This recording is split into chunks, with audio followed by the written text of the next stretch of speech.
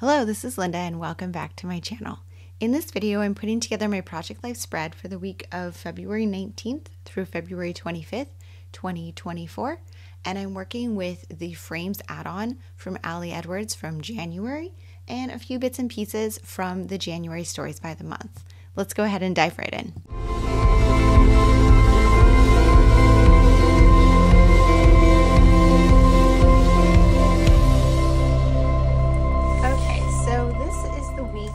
February 19th or 25th. And not a ton happened this week. Um, the biggest story was my daughter got a new apartment. Um, she's not moving there, but she toured it and picked it out and everything.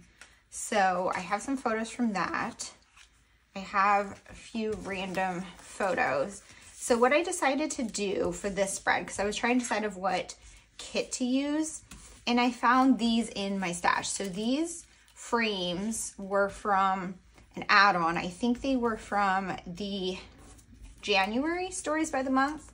I think they were an add-on for that. And I decided I wanted to just use them all up on a spread. And I could do that. I think, I'm not sure if there were supposed to be two of those or that was an error, but I was thought I could do it like this and do every other pocket be one of these frames. So some of these will have photos behind them, some will have words, and then I have a few photos here to go in between them. So I have like this one of me with pumpkin. Here's me in my new puffer vest, and then here's one of my boyfriend. And then let's see, so I'm just thinking about like where these are gonna go. So like this one could go here, right where I wanna be, cuddling with pumpkin. And let's see, all the little details. So here is baking some cookies. Um, chasing my dreams. Could be Summer's apartment. That's more her chasing her dreams. Let's see. Maybe I'll put this in the totally noteworthy one here. And then put chasing my dreams here to do journaling about it. And then let's see here. Today is a new day, my new mixer. Taking a deep breath could just be like this photo. And then lessons from today could be this photo. So I did mostly smaller photos to go in these. I have one here that doesn't have a photo in it. So I think I wanna put like this next to it. Maybe I'll put this one. I'm not sure, but now, so basically what I need to do is I need to find things to go in these pockets. I need to create my title. I need to do some journaling and kind of get this one put together. So I'm gonna go ahead and pop off here, go look in my stash. Oh, this one also, that's the back of that. I need to put something in there. That looks like a good one for journaling though. So I'm going to go look at my stash, go see what else I want to fill all these pockets in, and I will be back on here.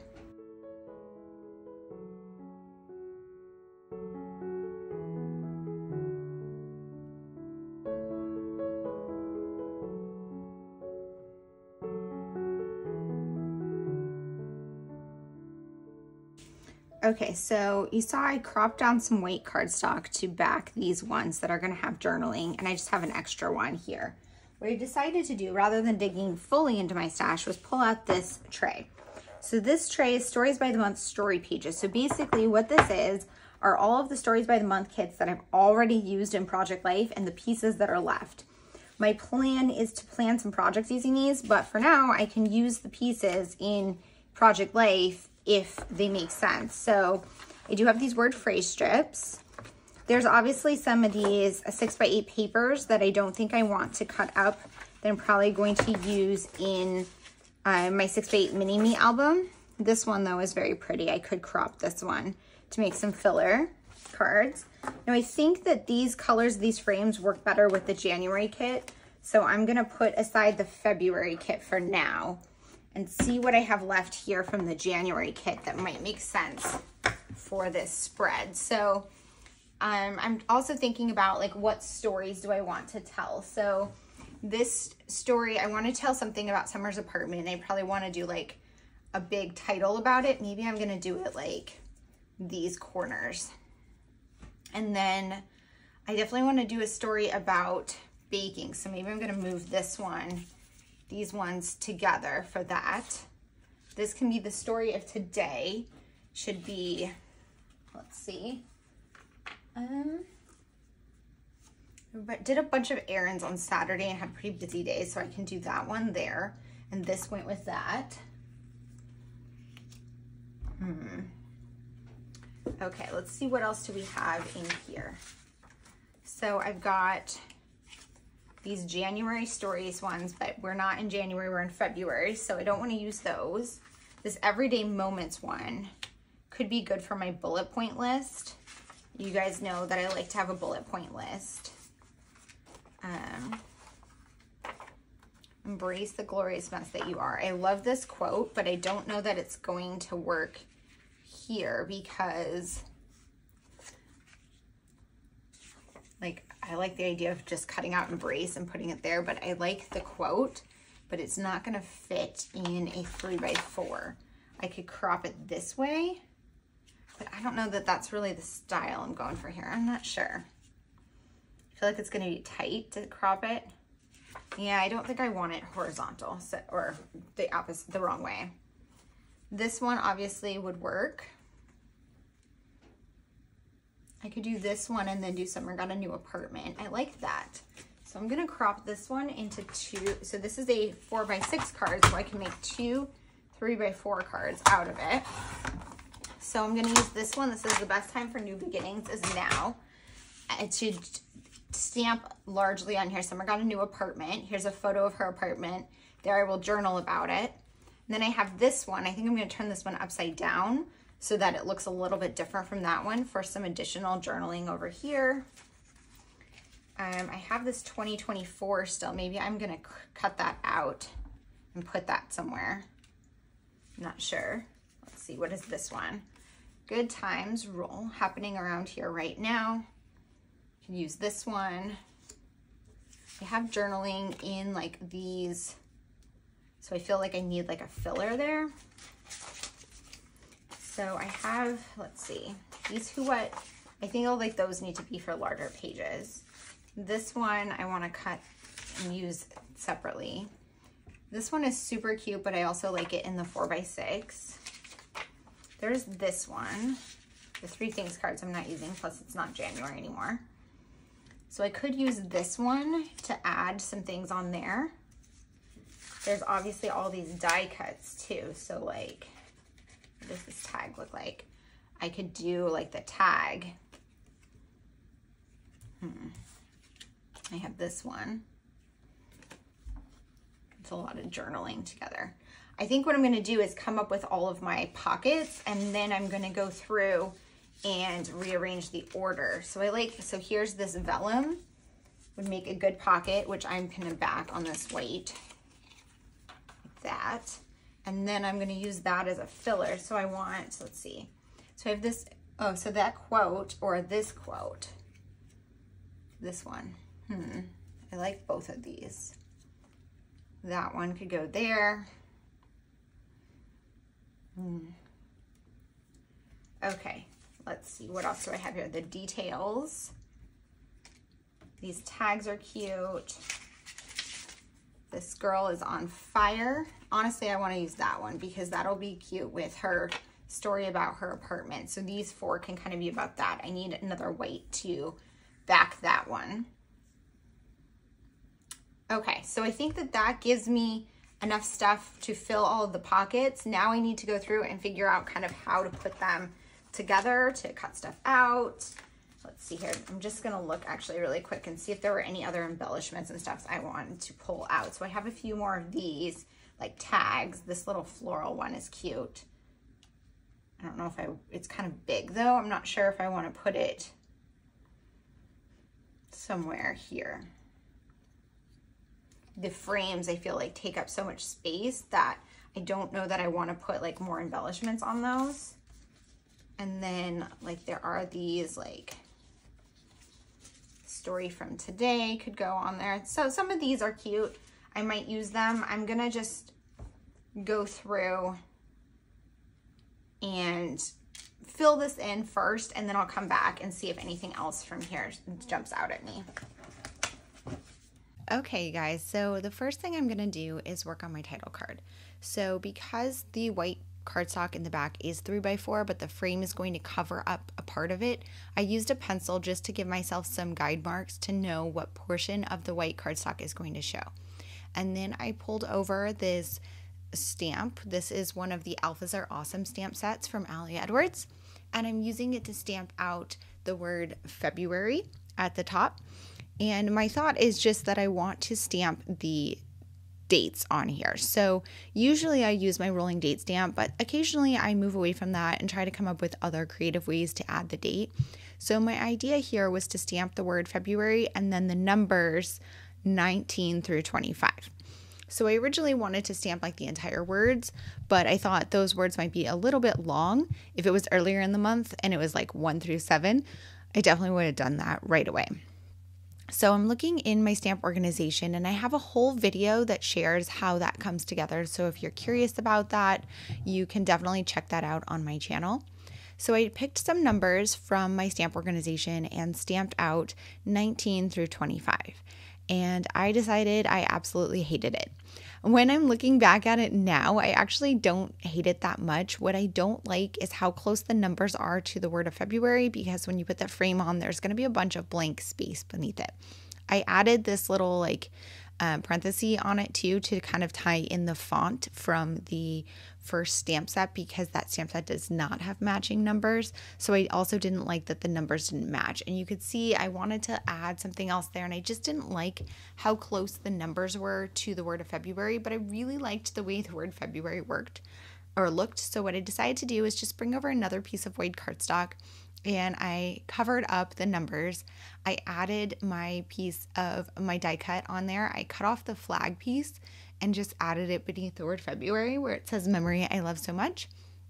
And then I decided to go back and stamp out the words like I had originally thought of. I know that 19 through 25 are long, but the issue I had had with the number stamps were that they weren't taking up enough space. So I thought, you know, this might work. I pulled over another alpha set. I'm not even sure who this one is from. I think it might be Studio Calico, but I've had it for a while and it's one that I pull out again and again. It might be Ali Edwards. I really don't know. But I'm writing out 19 and 25. 25 I'm putting on two lines because I thought it would be a little bit squished on one and this way it will fill up the entire frame. And I wrote them out on that sticky note first because when I'm stamping like this, I'm stamping from the center rather than the front of the word so that it's more centered. And I want to make sure that I'm spelling it correctly. So having it written out on a sticky note to reference will help make sure that I don't make any spelling mistakes. I'm just going to use rolling adhesive to adhere the frame on top of this and you can see I have it there. Um, and I'm just erasing those pencil marks so they don't show through and calling my title card good for now. I do end up coming back and adding some stitching on it at the end. Then I'm just moving along around my spread. I'm adhering some of these photos to the frames just using scotch tape rather than rolling adhesive. Um, it's just easier, but rolling adhesive would work perfectly fine here as well. And I'm just going through and adhering them down because that's just something easy I can do. When I'm working on a project life spread, I tend to work on whatever I know I want to be done already. So, like, I know those photos are going to go there. So, it's easy to just adhere them down while I think about what I'm going to do for the rest of the spread. On this card here, I adhered the frame onto white cardstock. I apologize that it's going off the screen as I was trimming it down to fit there, but I just wanted to have some white cardstock to add a little bit of extra journaling onto that one. And I'm doing it again on this one here.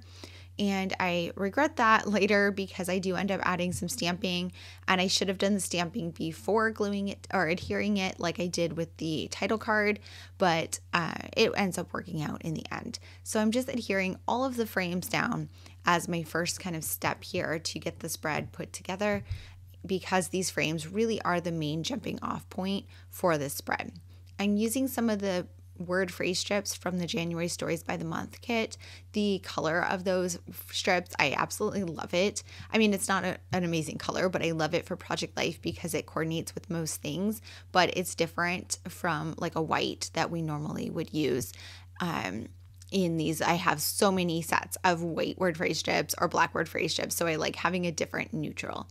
So on this card, I decided to stamp out Summer Got an Apartment. I went back to the original font that I had used to stamp out February because I used two different font sets on that title card. I wanted to use them, both of them, throughout the rest of the spread so that I could have a um, a variety of them across the spread, and that way it would all kind of tie together.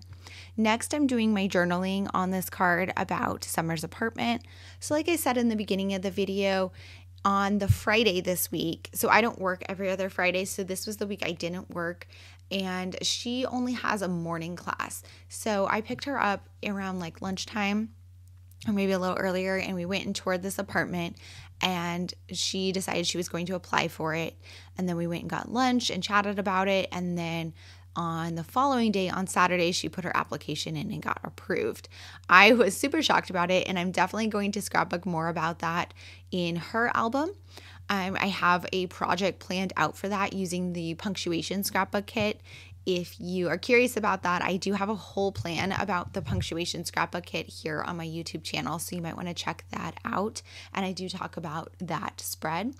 But for now, I'm documenting it in my project life. So I have those four pockets dedicated to that story because that's really like the biggest story that happened this week.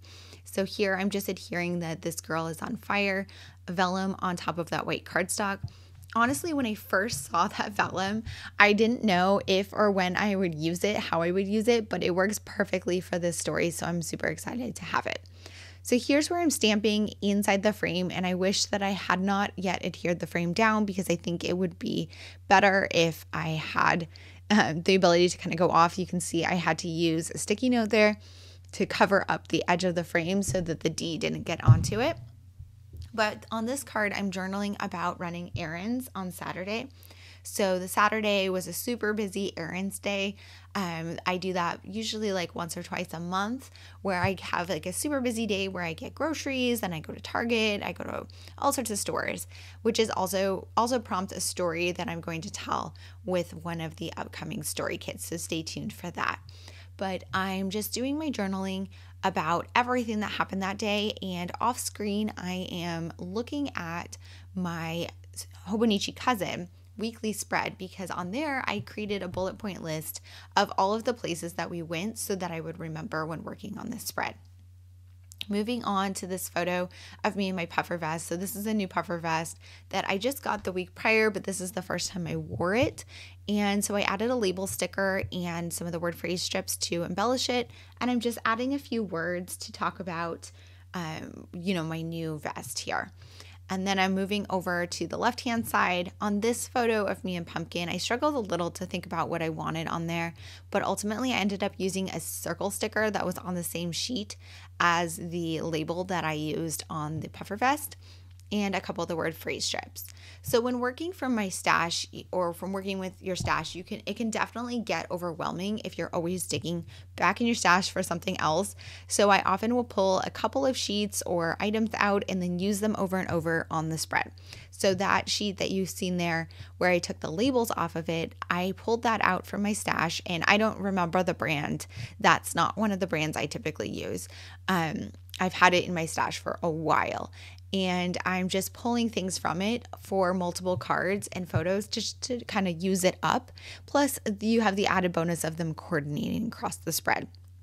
On this card here, I wanted to do some journaling and I decided to add a label sticker that says Life Now on it, and I used the smaller of the two alpha stamps on it. Like I said earlier, I wanted to use both of those alpha stamps throughout the spread so that it would all seem cohesive, and the fact that I used both of them on that title card.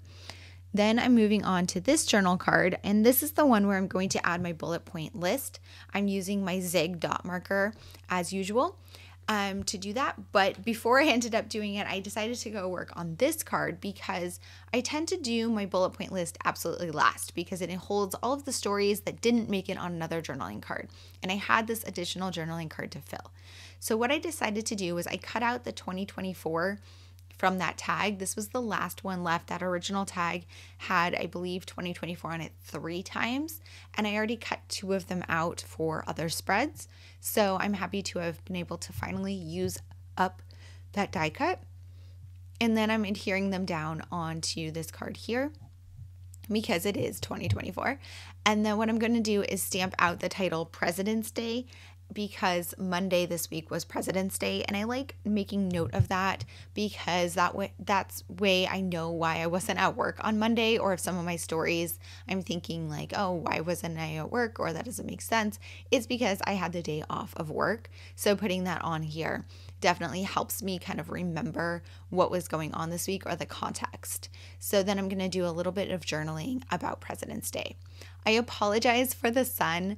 I filmed this video in the morning and I like to have my window open at my craft desk to have the sunshine stream in but typically I can't film videos in the morning because the sun is too uh, bright or I have to put the shade down. But for this one, um, the sun was behind a cloud when I started, and then you can see it keeps coming in and out. So I really apologize for that. I hope it's not too distracting. Um, here I go back to my bullet point list, adding those details. Like I said, I use the zig dot marker to add a dot.